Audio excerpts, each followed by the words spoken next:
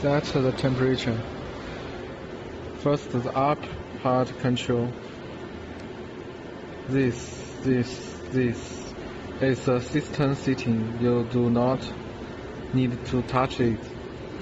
You only use this part to set the splicing temperature. Depends on your belt. FPU maybe 150. FPVC maybe 107, 71, 73, 74. Depends on your belt. It's okay now.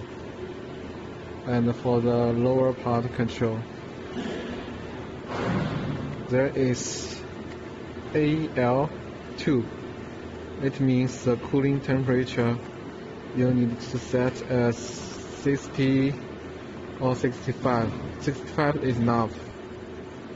And then go back to this part. It's for splicing temperature. Set 174, 173. It's okay. No, not important. Like this. And this is for heat preservation.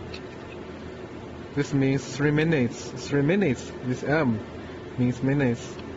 S seconds. H hour. So we use minutes. 3 minutes, 4 minutes, 5 minutes, 6 minutes. Depends on your belt.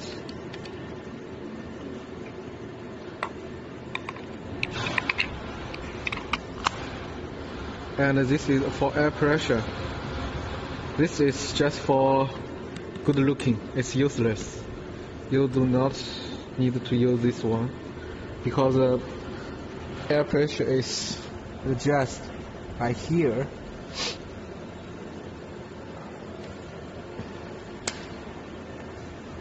Then we go go start.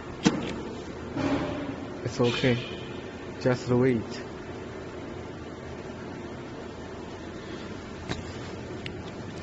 and you could put the warp water pump plug here ah, the first one okay that's all